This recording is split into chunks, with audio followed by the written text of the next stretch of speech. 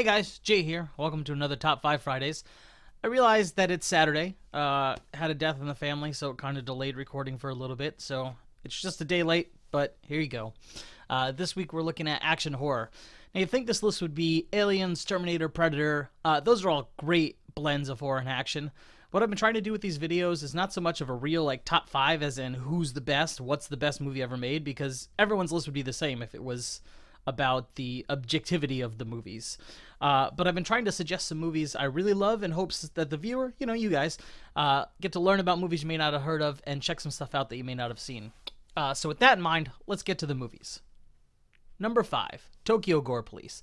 This movie is off the walls, batshit crazy, and I love it featuring plenty of practical effects. The story is about a mad scientist who creates a virus that when someone is injured, that injured part of them mutates. To counter this, the police form a paramilitary group called Engineer Hunters. The mutations are awesome and gory and fairly inventive, and the ending fight is ridiculous in a very fun way. If you like off the wall, over the top special effect filled Japanese movies, this is one you don't want to miss. Number 4, Night Watch. This movie is based on the Russian book by the same name. The plot revolves around the titular Night Watch, whose job it is to make sure the forces of darkness don't break the treaty between them and the forces of light. It's hard to dive into this movie's plot without giving things away, but what you, what you need to know is it involves vampires, witches, people's supernatural abilities, and some of the most creative action sequences you'll ever see. Number 3, Mayhem. Mayhem is a newer movie, and I haven't seen a lot of people talk about it. It stars Steven Yeun as a corporate office worker. In the world the movie takes place in, there's a virus that makes people lose all self control. It can affect people in different ways. They can stop giving a shit and do things like have sex in public when they normally wouldn't, or get extra violent and start killing people. The movie establishes that because of the nature of the virus, people are not legally responsible for their actions up to and including murder. Steven's character, Derek, is fired as the virus hits the building and lockdown. The government will have the whole building cured in eight hours. What follows is a fun, gory, action packed ride as Derek fights his way to the executive floor to try and get his job back by any means necessary. Number 2 Guyver 2 Dark Hero. A sequel, you ask? Yeah, so let me explain. There are two Guyver movies. Both are good, but to me, the second really embodies the anime and manga it's based on a lot more. The Guyver is an alien weapon, a suit of armor that lives inside the user. It is used to fight zoanoids, which are humans who can transform into monsters werewolf style. The monsters have increased speed and strength, and of course, claws and stuff that make it easy to kill people. In the first, we see our hero Sean accidentally obtain the Guyver armor and use it to protect his girlfriend and take down the evil corporation Chronos. But the first one kind of has uh, leans more towards a comedic uh, side.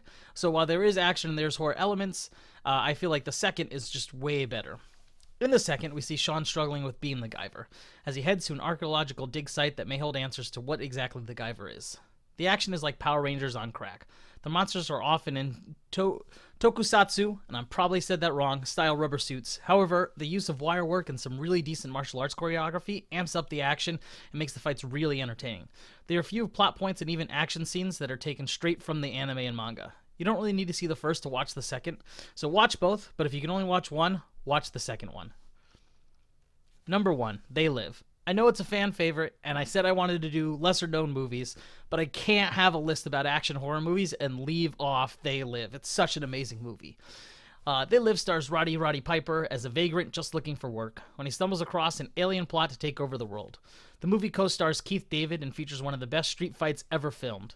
Not only that, but the movie is responsible for some of Duke Nukem's better known lines, including I have come here to chew bubblegum and kick ass.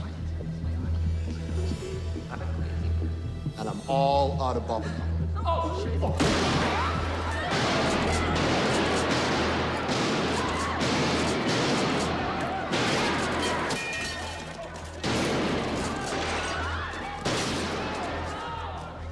you haven't seen the movie, do yourself a favor and watch it ASAP.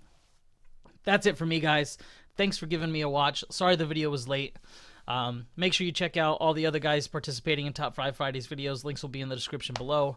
Uh, like us, subscribe us, check us out on Facebook. We've moved away from horophilia now, so check our podcast out on Podbean. That'll be the place to get everything uh, first. And yeah, thanks for listening, and I'll talk to you guys again soon.